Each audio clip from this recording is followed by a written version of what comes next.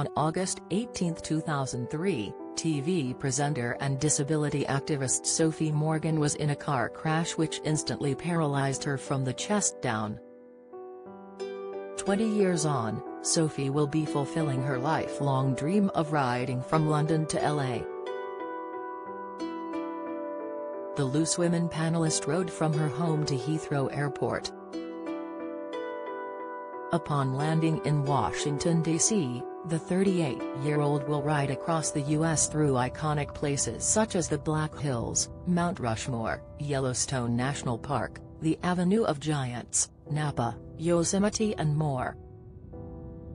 Before kicking off her epic journey at the start of the month, Sophie told Express.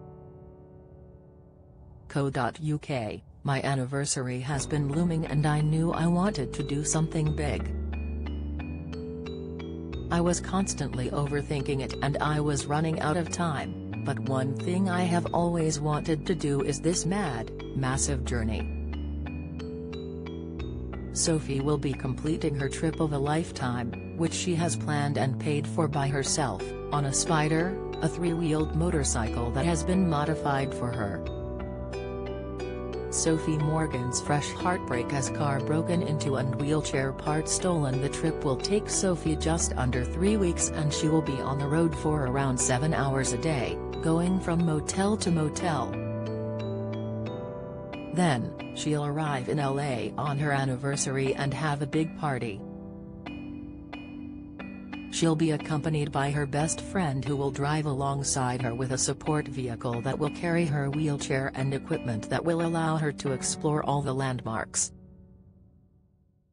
The trailblazing star continued, this journey is not about putting myself under physical or emotional stress, I have enough of that in my life.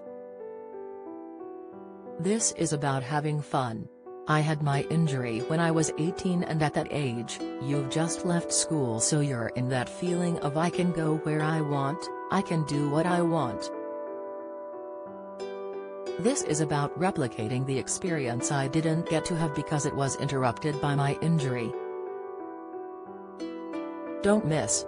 Sophie Morgan thrilled as government vows to protect disabled people on flights, latest, Loose women star fumes I don't want to be here after wheelchair breaks twice, news, loose women star heads to British Airways HQ as airline broke wheelchair again, insight, but am doing it as a way of kind of saying to that person who was injured, look how far you've come, would you ever have imagined you'd be doing something like this 20 years down the line? As for how she thinks she will feel on the day of her anniversary, Sophie says proud.